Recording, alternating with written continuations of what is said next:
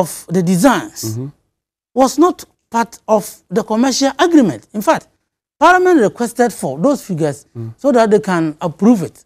But, Were they given? sorry, Was Parliament given those figures? just footnote. Why, why not? Why weren't they giving? They were, I'm saying that they provided it under the footnote Okay. that we, we build uh, two, uh, two bedrooms, 2,000 for instance. One bedroom, 1,000. Three bedrooms, 2,000. Okay. So you have your 5,000 These are the quantities units. you're talking quantities. about. Okay. But the actual detailed work, mm. that is the works agreement. Mm. Works agreement. Parliament didn't approve the works agreement. Okay. It was the ministry that approved the works agreement upon the recommendation by the consultant, mm. which has been appointed by the government, and for that matter, Minister of Works and Housing. Okay. You understand my point? I get it. So when the E- EPC agreement was uh, uh, uh, uh, uh, signed, they stated in it that the first phase should be 1,502, it should be completed, sold out, Completed when? completed, uh, I think after 12 months or so. But but the, but it's not been completed as we speak. So it, they, they Why, didn't, why, why was it not completed? actual, the actual work started in 2014. Okay, but we have paid 20, over 90%. So why was it not completed? Can I, can I right. Hmm. build my point, please?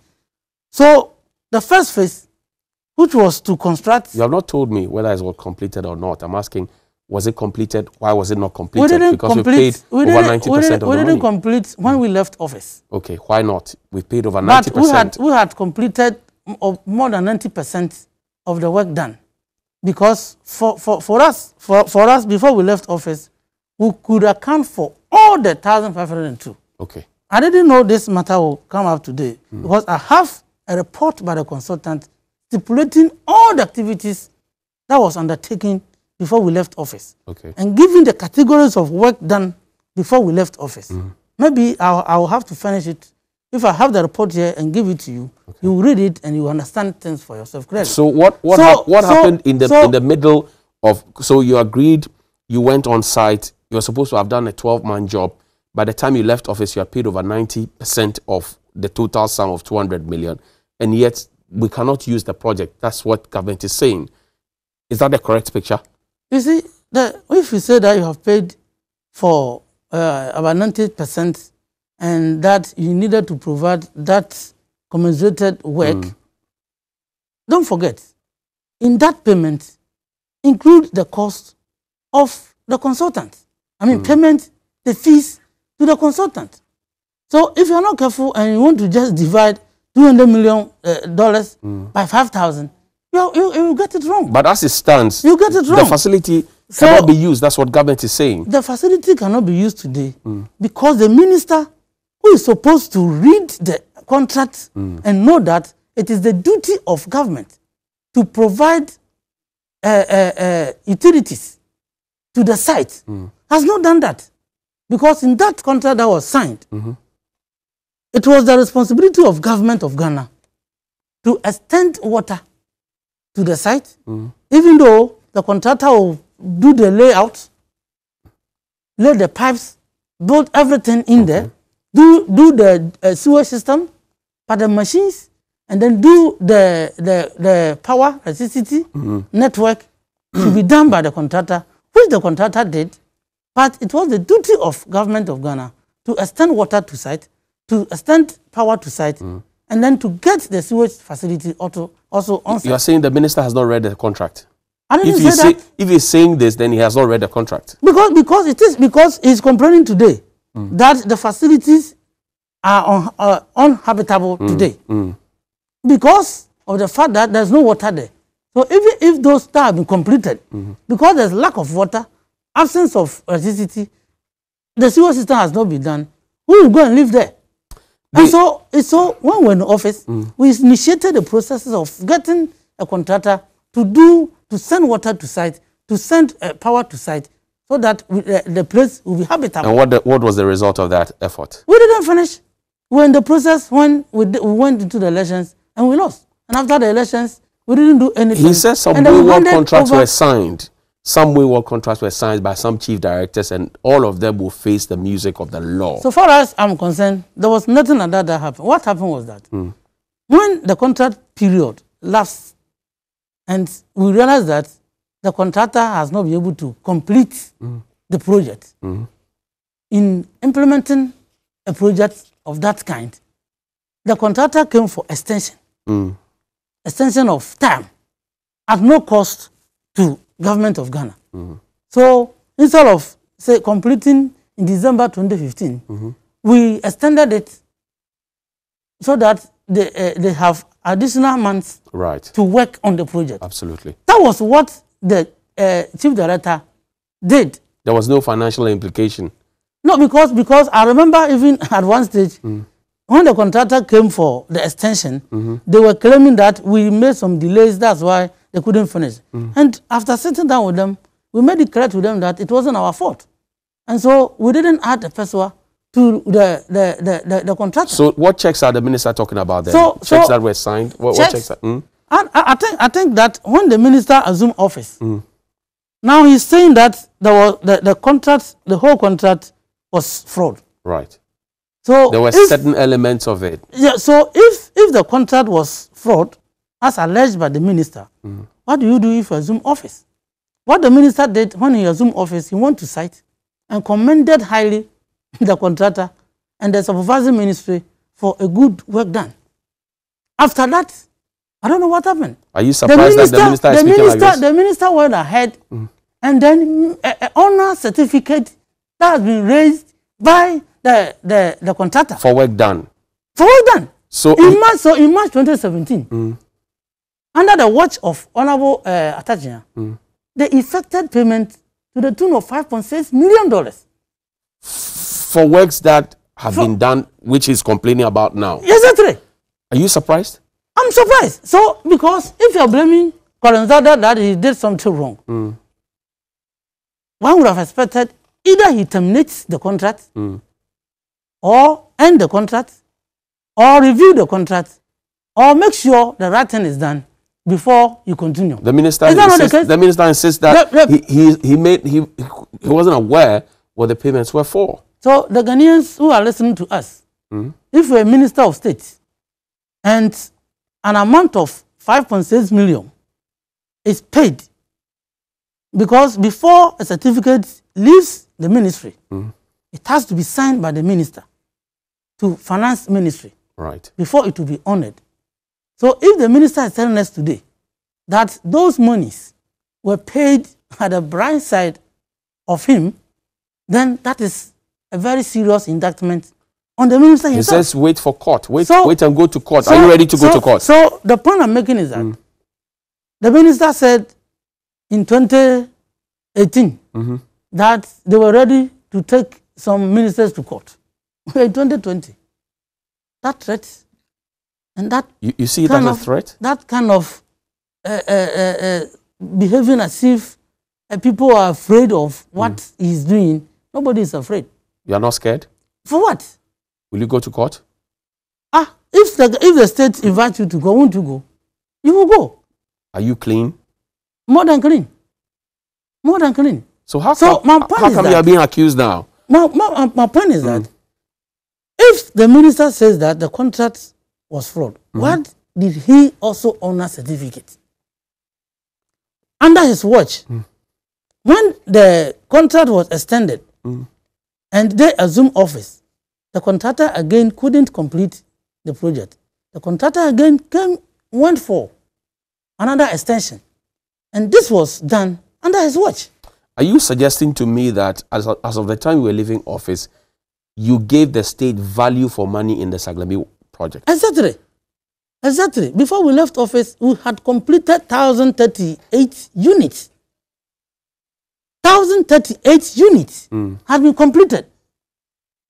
And then the remaining were at the various stages of completion. In fact, I remember 90 was just around the footing, but the rest, some at the roofing level, and some of them just uh, uh, uh, putting in the ties here and there, wiring, and that kind of thing. So, but before we left office, we could account for the 1,502 units that was approved and agreed upon in the, uh, the EPC agreement. Okay, this is Hot Issues. My guest is the Honorable Samson. Ahi. He is uh, in a face to face with the Honorable Minister for Works and Housing, Samuel Atta Akyea, who today in Parliament had mentioned that, well, the Saglemi housing project had issues and some illegalities have been done, and the persons involved should get ready to go to court. Samson is ready to go to court. Stay with us. When we return from the break, we'll ask him how those who expected to live in those houses should be feeling at this point. Another issue. Stay with us. This is hot issues.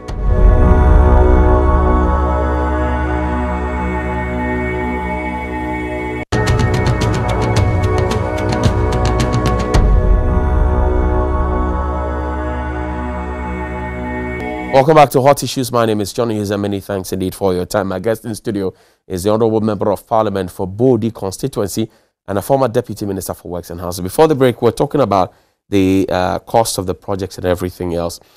What was the estimated time that you had in mind to complete the 5,000 housing units? It was to be done in three phases. Okay. Over what period?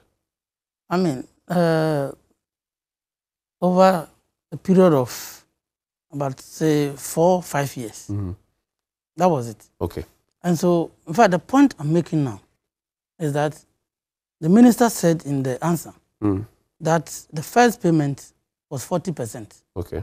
Which was $80 million. You have said 20%. You, we, have crossed I'm that stage that already. That is not true. We've crossed that stage already. I'm asking you now that you are saying four years. You expected to complete in four years. Now it's not completed. We have always had housing deficit. The promise was made to the people to get them housing, you know, cheap houses for them to stay in, affordable housing. Now the project is not there. How does that make you feel as the former man in charge of trying to provide shelter for the people that never was? Yeah, it is rather unfortunate that when we left office, in fact, by the time we left office, mm. we had put in place structures to start selling some of the completed ones. At how much? But we didn't, we didn't determine the price. Mm. But because there was no water mm. and the power to the site, that's why we're working seriously on getting the infrastructure on site. Mm. That was what we were doing. So some people even came mm. that they were ready with their monies to buy. And we didn't sell them because we said we can't sell a house without those facilities, amenities to you. How much were they willing to buy for? I mean, we're, yet, we were supposed to meet and determine the price. Because this, because was, this was supposed to be affordable. affordable. The government was going to take the cost of the land mm. and some costs. Government was going to bear some costs. You understand? But you said so, earlier, you so, said earlier so, that the 200 million, mm. which is now being contested, mm. including mm. the cost for the land and other things. And the infrastructure and other things. So I don't get it was if it was factored into the 200 million, then how are you saying now the government was to take the cost of the land and other things? No, no, no. What I mean by the, there are two issues here. Mm. We have the infrastructure on site. Okay. That has to be provided by the contractor. Right. So doing the pipe, laying the pipes, mm. laying, doing the streets. Okay. Connecting the the electricity wiring mm. the houses and then the street lighting and those kind of things. Mm. Mm. That's the on-site infrastructure. Okay. But you remember you need to extend power from certain points okay. into the site. Okay, and those ones are what government will take care of. That is what okay. government was supposed to take care of. So we engaged Ghana Water Company mm. uh, Limited, for instance, to give us an idea how we can get water to the site. Mm. We engage ECG, for instance, to give us an idea as to how we can get power to the site. Mm. Even though you have provided all those things and did they agree? on site. Did they agree? We were in the process of negotiating. For how long were you in the process of talking to agencies that are work under your government? There were, there were complexities in those discussions. What kind of complexities? Because, no, you have to take the power, water, for instance, wanted to connect it from Kpong mm. direct. And connected from Kpong direct, it has to pass through some properties here and there. So negotiations, you have to. Uh, Did make, we not think about all of this before we put the plan and made a promise to the people? Of course, we, putting... of course we did. So, but when so it comes to why? actual implementation, that is where you have to agree on. But you, but you, but you need you are you are a planner man. You need a plan to be able to implement. The plan should be composite, and then you everything, implement it. Everything was in place. So how come? Executing it, you needed because the project one I mean that's why I said that the cost of the project, the the commercial agreement was what was approved by parliament. I hear you on that. I'm so saying that. So so these details that I'm talking about was not approved by parliament. But- but- Mm. it is then that after the approval, the financial approval have been given before the engineers, Mm. the minis- the uh, uh, personnel from the ministry would then start that no- those negotiations. But if you were building your own house, like we all do, would you plan for one and leave the other and say we'll plan for it later? Because that seems to have stalled the project. really. No, they didn't. They were work, They were all moving simultaneously. Do you understand? What I meant was, because it was the responsibility of government of Ghana to provide off-site infrastructure, Mm. you needed to get resources. Resources from where? Yes, from the government of Ghana. But the buildings are rotting away now. We would have, we, we- we would have done it by now. So the It's, it's minister, easier said than done. The, no, the ministry, because I know what I'm talking about, because we initiated steps to ensure mm. that we got all those amenities on site. When the minister came, instead of him continuing mm. and knowing that even those ones that have been completed, mm. He keeps on saying that they, they are uninhabitable. Blame game. They are uninhabitable. Blame game. Forgetting the, the fact that he is the one who is supposed to make the place habitable because he has to get water to the site. Can the average civil servant, or if you like, layman, afford what we have put out there? That is why we brought, we brought in Ghana Home Loans hmm. to be the off-taker so that if you are interested, you go through Ghana Home Loans, then Ghana Home Loans will, will, will buy the averagely, how much did Ghana Home Loans tell you they were going to sell the project for? One one unit for a two bedroom flat, for example. Per the, per, per the initial proposal that they brought Mm. was around $40,000. If I if I if I work at the Ministry of Works and Housing and I earn thousand five hundred cedis per month, it would take me forever to pay that. Don't No, you think? don't, don't forget there were three, uh, three bedroom houses. Mm. There were two bedrooms and then one bedroom. But I'm saying that So, it would so- take me forever. so- don't you agree? No, so if the uh, three bedrooms is forty thousand dollars, for instance, then definitely the one bedroom is not forty it will still be it will still be and that is why that is why that is why that is why you are given a mortgage facility, and per the law, you are not supposed to use more than thirty percent of your monthly income Mm. on shelter. So all those things were factored. So if your monthly income is thousand five, as Mm. you are saying, and you are then you are entitled to one bedroom, okay. then we make sure that Mm. what will be deducted to service your mortgage Mm. will not be more than 30% of your monthly income. And we're moving into COVID issues now. Yeah, yeah. Your side in Parliament is asking for 240 uh, Explanation by point three- government. Exactly. Yeah. To be made to you. I'm asking, mm-hmm. did that explanation not come at the time that the money was being demanded for? No, the details mm. wasn't given. Why didn't you ask? I mean, mm. the government, you know, it was done under emergency, uh, uh, under, under emergency. Mm. And during emergency situations, you will, the, the government will just bring the programs. Mm-hmm. We want to do A, B, C, D. And that is it. The approval was given. Now, come and gi- show us. If we said you wanted to feed, uh, to feed uh, 400 people, how much did it cost? How many days did you cook for uh, to feed the 400 people? How soon do, do you want These this are done? the details that we want. How soon do you want this done? Now we have raised the matter. We are anticipating that as soon as possible, hmm. the finance minister will furnish parliament with tho- those those information. Are some members of Parliament contracting the coronavirus? not as to far the as best, you know? not to the best of my knowledge. You don't know. I have done the test, hmm. uh, and I know that. do you know your status? Have you been told? I have not been told anything. Why not? But I understand the principle is that if if if if you contract the virus, hmm. they will call you and let you know after 48 hours. Okay. So I'm I'm assuming that, and I did it uh, uh, almost two weeks ago. Okay. So if I've not been called after 48 hours, my conclusion is that I don't have it. But you sit in I a don't chamber. know- I you sit in a chamber with your colleagues. Uh, how would you feel if you got to know that you know, a colleague of yours had it and is, is kept away from you because you work together as a team of 275. How would you feel? That would be very, very uh, problematic for everybody because then you don't even know, one, if you don't know who has uh, gotten it, mm. you don't know where he sat mm. yesterday or a week ago, which people did he come into contact with. Mm. So then it's a problem. Should we shut Parliament? So, so, for so, out, out, out, out of uh, safety, should we shut Parliament? Yes, I am. I am one of those people who who are calling for uh, closing down of Parliament because of the uncertainty in this uh, coronavirus uh, uh, period. But that would affect government business. That would affect, for example, the CI that EC has it's, put before it's, you it's, to, to mature to allow them to go ahead with their business. So, what what purpose will it serve if after the CI has matured and all of us are dead?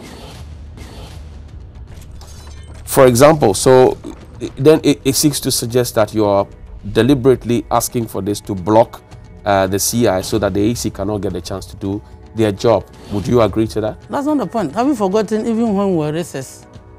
From time to time, when government needed members of parliament to work, we call upon and we, we did that. Remember recently when we vetted the, the four Supreme Court judges, parliament was on recess. Mm. So depending on and the circumstance of the time, if government put in a request, we respond to it positively. Mm. But this is a situation where we are talking about life and mm. death. Mm. And we don't know who and who have contracted the virus.